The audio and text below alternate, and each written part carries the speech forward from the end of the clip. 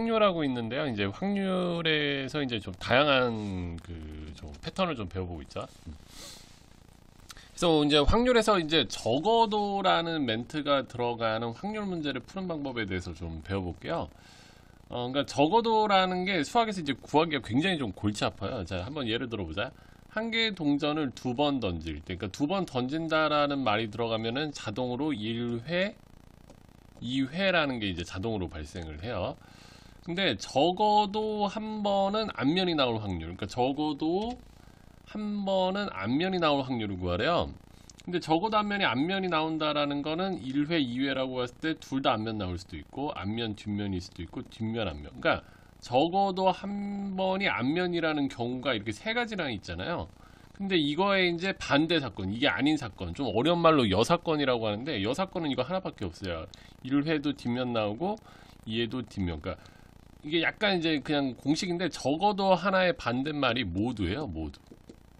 그러니까 적어도 하나가 A일 확률은 모두 A가 아닌 확률이거든. 그러니까 이 적어도 하나가 뭐 A일 확률을 구하는 게 굉장히 골치 아프다라는 거죠. 왜냐면 이 경우의 수가 되게 많거든. 근데 이 적어도 하나가 A 사건의 이제 반대 사건, 약간 정확하게는 여사건인데 반대 사건은 모두 A가 아닌 확률. 근데 이게 구하는 게 되게 쉬워. 그래서 수학에서 이 적어도라는 멘트가 나오면 직접 구하지 않고 이거에 이제 여사건을 이용해서 구한다라고요. 그러니까 이제 반대 사건. 둘 다 뒷면 나와. 그럼 동전을 던졌을 때 둘 다 뒷면 나오는 거는 이 뒤뒤 이거밖에 없죠. 그래서 어, 둘 다 뒷면 나올 확률은 4분의 1인 거지. 이 네 가지 경우 중에 한 가지. 그래서 어, 수학에서 이제 적어도라는 말이 나오면은 그러니까 특히 확률 구할 때 이 이거에 해당되는 사건을 직접 구하는 게 아니라 이거에 이제 반대 사건인 모두 A가 아닌 확률을 구한 다음에 이래서 빼주면 된다. 이런 걸 약간 좀 어려운 말로 여사건을 이용해서 푼다라고 해요. 그래서 이런 스타일의 문제를 한번 좀 풀어보자. 자, OX로 답하는 두 개의 문제에 무심코 답을 할 때 다음을 구하시오. 두 문제 모두 틀릴 확률을 구하라. 모두, 모두가 수학에서 구하기가 쉬워. 자, 그러면은 OX로 된 두 문제니까 1번 문제에서도 나올 수 있는 게 O 아니면 X 두 가지. 2번 문제에서도 나올 수 있는 게 O 아니면 X. 그래서 1번 문제에서 발생할 수 있는 가지수는 두 가지, 2번 문제에서 발생할 수 있는 가지수는 두 가지인데 이게 연달아 발생하잖아요. 그러니까 고배 법칙에 의해서 4다. 음. 뭐 굳이 한번 만들어 보면 55, OX, XO, XX 이렇게 해서 네 가지인 거죠. 두 문제 모두 틀리는 경우는 뭐 XX. 그러니까 이 두 문제가 1번, 2번이라고 하면 나올 수 있는 경우의 수가 뭐 55 이렇게 한 가지, OX 또 한 가지, 그 다음에 XO 한 가지, XS 이렇게 네 가지 경우가 있다는 거죠. 이렇게 네 가지 경우. 이 네 가지 경우 중에 두 문제 모두 틀리는 경우는 요한 가지죠. 그래서 한 가지. 그래서 두 문제 모두 틀릴 확률은 4분의 1이다. 근데 갑자기 이걸 왜 하고 있느냐? 얘 때문에 그래. 얘 때문에. 적어도 한 문제를 맞힌다. 적어도 한 문제를 맞힌다라는 건 그러니까 적어도 하나의 반대말은 그냥 모두라고 생각하면 돼요. 두 문제 모두 틀릴 확률. 근데 이걸 구해놨거든. 두 문제 모두 틀릴 확률이 4분의 1인 거죠. 그래서 이렇게 빼주면 이 여사건의 확률을 구해냈다라고 해요. 그래서 수학에서 적어도라는 말이 나오면 직접 구하지 않고 그 반대 사건의 확률을 구해서 이래서 빼주면 된다. 뭐 이런 느낌. 또 한번 해볼까? 뭐. 한 개의 주사위를 두 번 던질 때 그럼 나올 수 있는 경우의 수는 6 곱하기 6이죠. 그러니까 1회, 2회에서 나올 수 있는 경우의 수 36까지.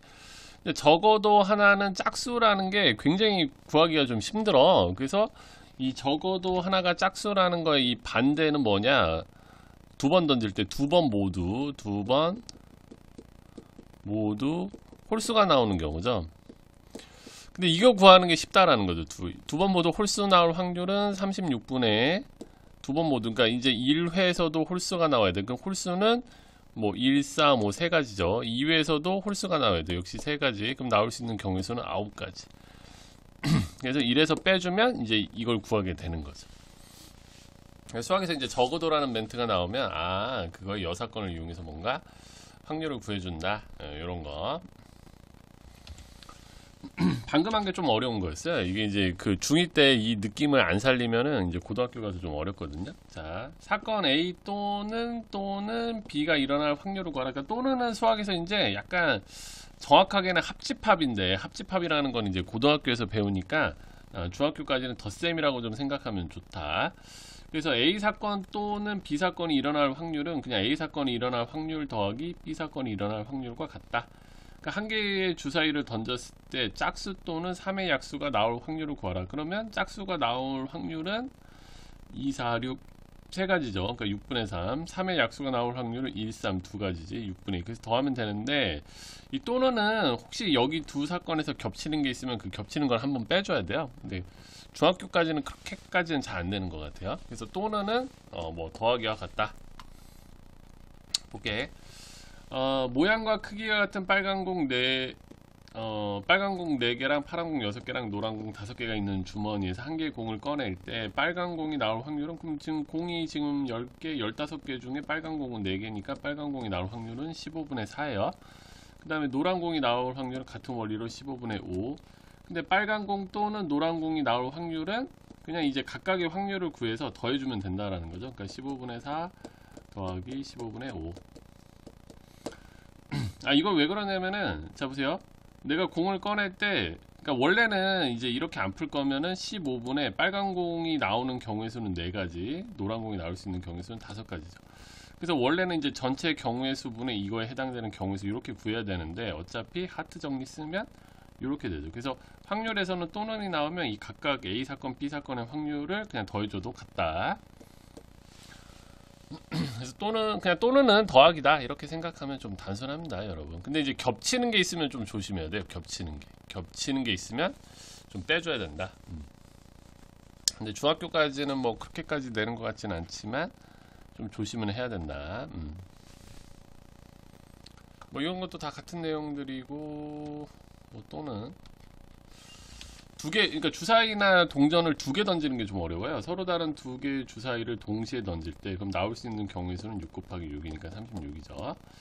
근데 두 수의 합이 6일 확률을 구하래. 그럼 두 수의 합이 6인 경우는 뭐 1, 5, 뭐 2, 4, 그 다음에 뭐 3, 3, 5, 1, 그 다음에 4, 2, 뭐 이렇게 되겠죠. 다섯 가지네, 다섯 가지. 그래서 두 수의 합이 6이 되는 경우는 36분의 5다. 두 수의 합이 10일 확률은 또 10인 거 구하는 거죠. 그래서 이거 지금 36분의 5였죠. 이거 다시 한번 쓸까 좀 귀찮지만 15, 51, 24, 42, 33.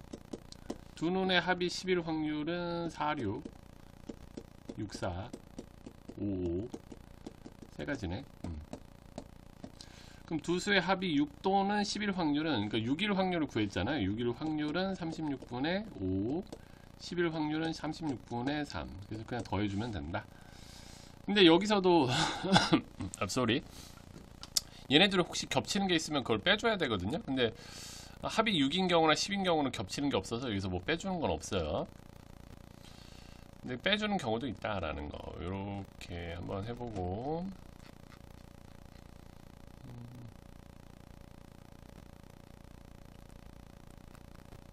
뭐 조금 한번 어려운 거 해보면 이거 한번 볼까요?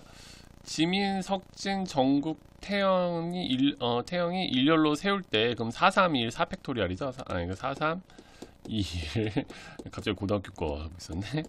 근데 지민이 또는 정국이가 맨 앞에 살 확률은 그러니까 지민이가 맨 앞에 설 확률을 구해보자. 지민이가 맨 앞에 서면 어, 지민이가 맨 앞에 설 확률은 24분의 나머지 애들 3, 2, 1 배열하면 되고 또는 정국이가 맨 앞에 설 확률은 정국 그 다음에 나머지 애들 이렇게 쭉 배열하면 되니까 3, 2, 1 그래서 또는은 그냥 더하기라고 생각하면 된다.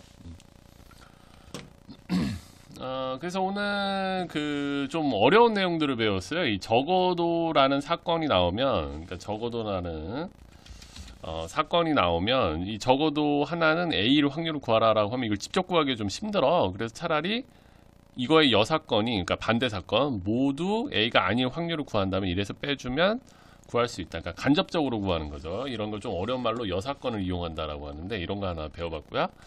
그 다음에 A 사건 또는 B 사건이 일어날 확률은 그냥 A 사건이 일어날 확률과 B 사건이 일어날 확률을 구해서 더해주면 된다. 음, 뭐 이런 내용.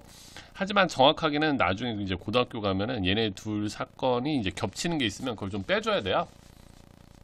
한번 뭐 굳이 예를 들어볼까 하나 조금 이제 고등학교 레벨로 올라가면은 그러니까 이제 뭐 어, 1부터 10까지 중에 뭐 짝수 또는 짝수 또는 뭐 5의 배수가 나올 확률을 구하라. 그러면 짝수가 나올 확률은 10분의 5죠. 2, 4, 6, 8, 10이니까 더하기 5의 배수가 나올 확률은 5, 10이니까 10분의 어, 2죠. 근데 이, 중학교에서 이제 이러고 끝나는데 고등학교에서는 왜냐면 짝수인 게 2, 4, 6, 8, 10이고 5의 배수인 게 5, 10인데 여기서 10이 한 번 겹쳤잖아요. 그러니까 10을 한 번 여기서 중복해서 센 거야. 그래서 그 겹치는 가지수를 한 번 빼줘야 돼요. 음.